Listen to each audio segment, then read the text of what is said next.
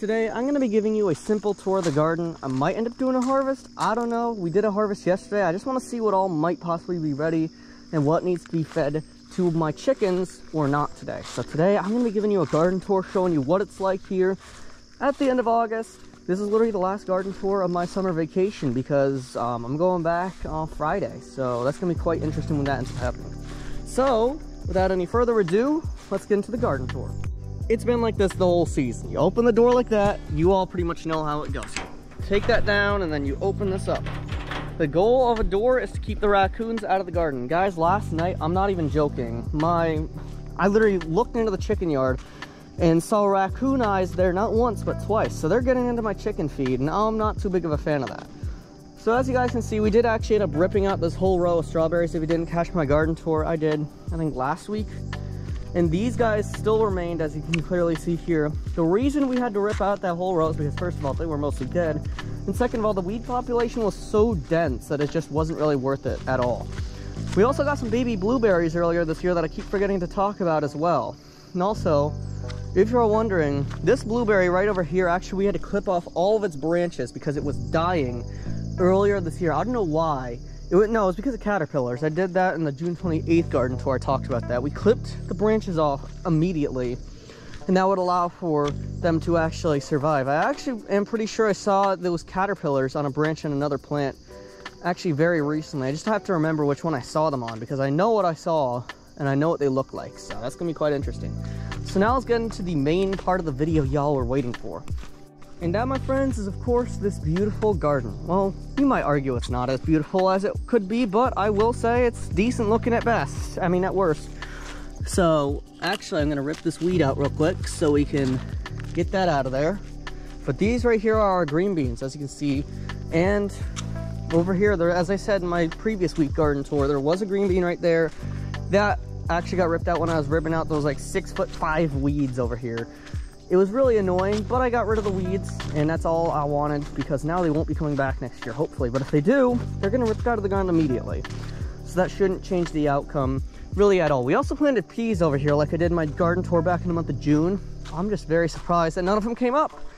I'm literally more surprised that four-year-old green bean seeds came up. I'm not joking, those seeds were actually from 2020. I realized after I filmed that video that I used the wrong seeds and I'm like, yeah, nothing's coming up. Seeds were from 2023, so I don't understand why they didn't come up. But I am still in disbelief that the green beans came up. It probably is just a blessing from the heavens above that we got all these nice green beans. I mean, the green beans are all right. I had them a couple times. They weren't as good as they were in previous years, but hey, they're green beans. That's all I got to say.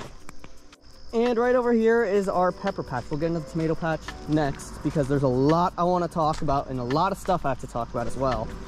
Um, right over here, you can clearly see we do have peppers coming in, a, a, wide variety, you might even say. And some of them are knocked over, but yes, they are still alive, thankfully.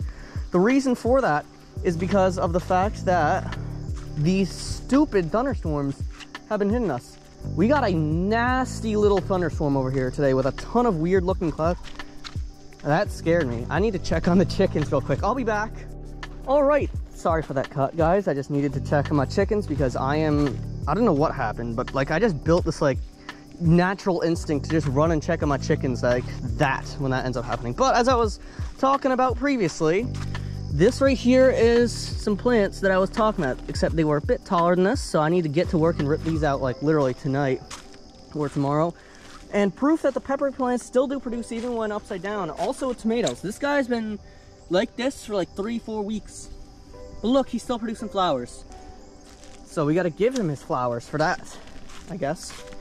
But yeah, we have tons of these cool looking peppers here. Tons of basil. Did I forget to mention that too? Basil, yep.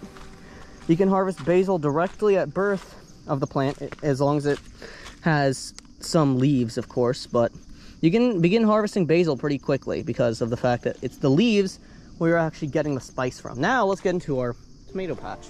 All right, now right over here we have our tomato patch. And I have a lot of stuff to talk about these guys real quick. So these right here are tomatoes. I'm sorry if you hear the ATV.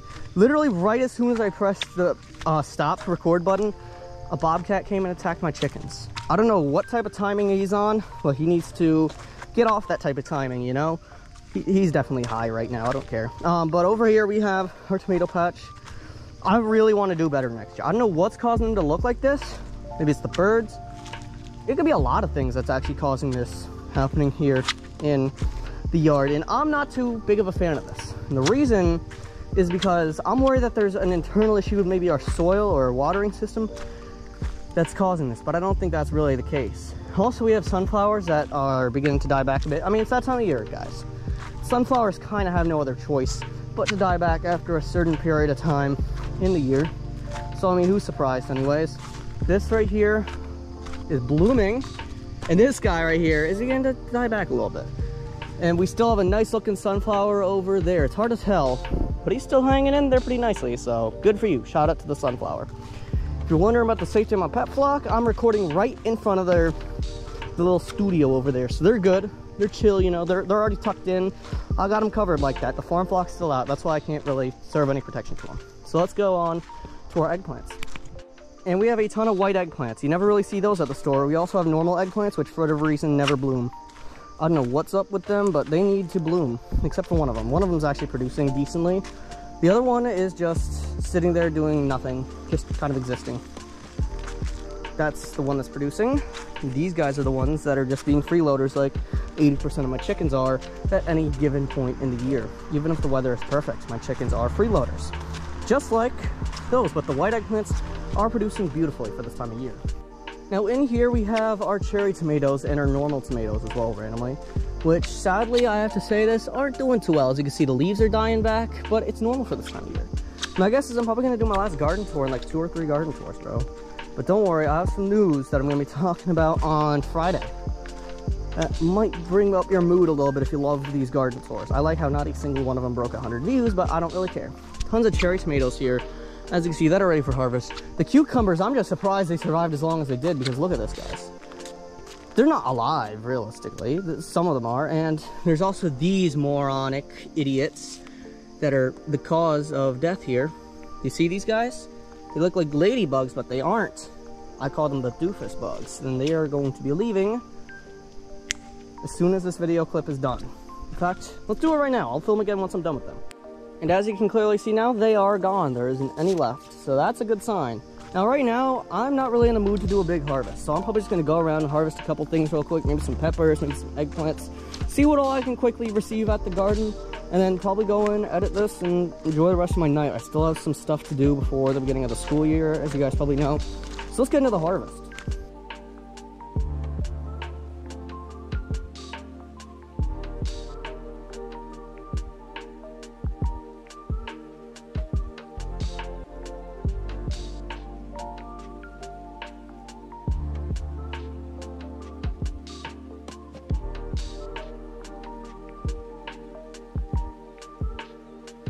Alright, so I decided midway through the harvest today that I just went, really wasn't feeling the harvest, so I didn't get a whole lot today.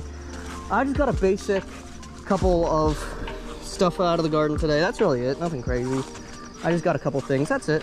Also, by the way, if you enjoyed, don't forget to go down below, click that subscribe button. We're trying to reach 4K soon, but most importantly, is trying to click that video on the screen, bro. It helps improve.